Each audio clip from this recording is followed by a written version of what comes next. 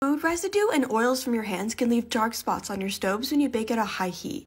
We're putting this white fry pan to the test to show you how simple it is to clean. All you need is baking soda or Bar Keepers Friend, a soft sponge or cloth, and a wooden toothpick or cotton swab for any tough spots. Get your pan wet and sprinkle on some baking soda or Bar Keepers Friend. Scrub and work in more powder as needed. For tough spots, you can use a wooden toothpick to gently scrub in the powder. This method is also great for the inside of your Staub. And just like that, your pan is as good as new. No seasoning needed.